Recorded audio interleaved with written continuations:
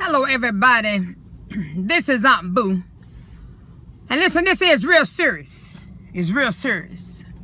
And you know, I usually try to answer, you know, video requests in order.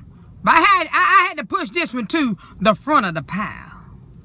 So somebody gonna send me a request to talk about these children out here and the parents that are afraid of their children.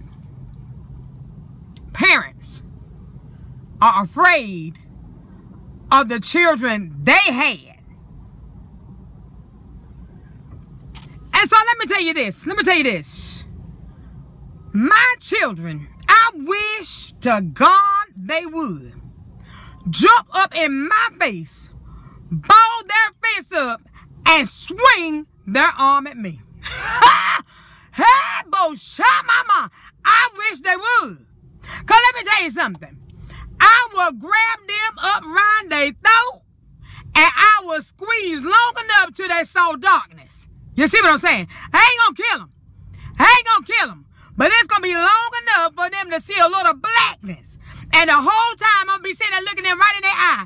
And I'm gonna be saying, burr, burr, burr, burr, burr, burr. Let me tell you something. My last kid, or my kid, let me tell you something.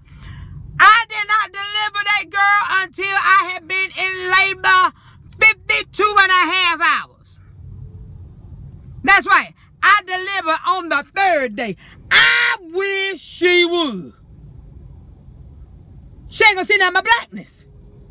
So, so I, I don't even understand. I can't even interpret a parent talking about they scared of their own child. Think about it. You done went through with them when they were teething. You know what I'm saying? Got all kinds of stomach virus, duking all over the place. You done got, got them up through school, running back and forth to the school, all this different kind of stuff. And then, you know, you feeding them, clothing them, sheltering them. You know what I'm saying? These kids today are privileged. I ain't had nothing but an Atari. Some of them got a, a, a laptop. They got, got an iPod, got a tablet, got everything. And then they gonna jump up in your face? I tell you what, if you scared of your kid, let me know. I am me on the side, and I tell you exactly what to do.